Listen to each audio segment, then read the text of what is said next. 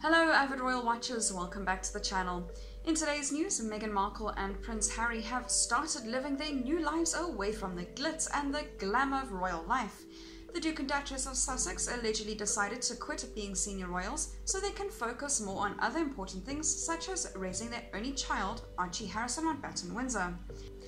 However, following their bombshell exit, reports have it that Meghan and Harry are already preparing for the release of a tell-all biography.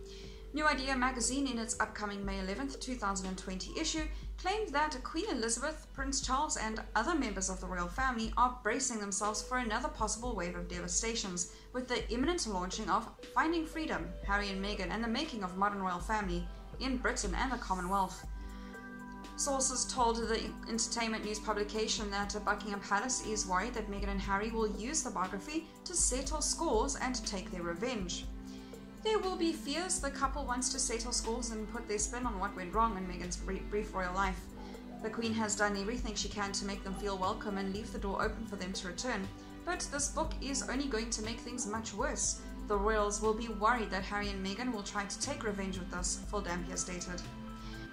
Phil even shared he is anxious that Meghan Markle and Prince Harry will use the book to take a swipe at Kate Middleton and Prince William, who have been working double time since the controversial Megxit. Rumours are rife that the two couples have not been on good terms for quite some time already. This, according to reports, is one of the many reasons why the Sussex couple decided to ditch the royal life for good. It, it, it's the personal stuff, particularly about their relationship with William and Kate, that could be most messy. If Harry repeats the cry that William didn't welcome Meghan and queried if she was suitable princess material, the brother will fall out again and it will become impossible for them to heal the rift, Phil Dampier went on. Both Meghan Markle and Prince Harry have yet to comment on Phil's statements. However, per First Post co-authors Omid Scobie, Harper's Bazaar royal editor, and Karen Deland, Elle Magazine's royal correspondent, previously revealed that the upcoming book aims to discuss all the fabricated reports and misconceptions about the royal couple.